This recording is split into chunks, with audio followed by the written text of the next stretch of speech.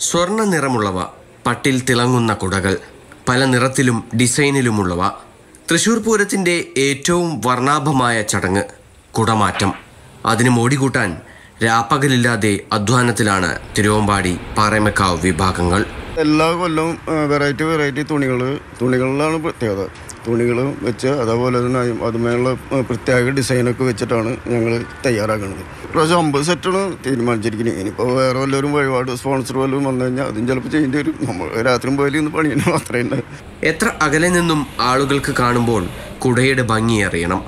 അതിന് തക്ക രീതിയിലാണ് നിറങ്ങളും തുണികളുമെല്ലാം തിരഞ്ഞെടുക്കുക.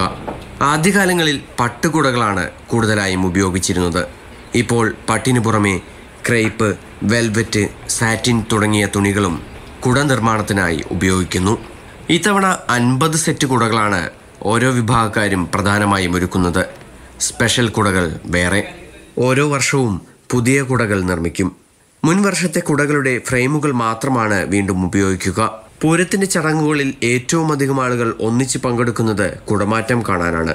അതുകൊണ്ട് തന്നെ ഏറ്റവും മികച്ച രീതിയിലുള്ളവ കാഴ്ചക്കാർക്കായി ഒരുക്കുന്നതിന് വേണ്ടിയാണ് ഇവിടെ ജോലികൾ പുരോഗമിക്കുന്നത്. കണ്ടില്ലേ? ഇതുപോലെ വളരെ കുറച്ച് ഐറ്റം മാത്രമേ നമ്മളിപ്പോൾ കണ്ടുള്ളൂ. പക്ഷേ കണ്ടതല്ല ഇനി കാണാനിരിക്കുന്നത്. വെറൈറ്റി കുടകൾ കാണണമെങ്കിൽ പൂരത്തിന്റെ അന്ന് തെക്കേ ഗോപുരനടയിലേക്ക് വരിക. Suji പട്ടാമിക്കൊപ്പം M S Lishoy Mathrubhumi news Thrissur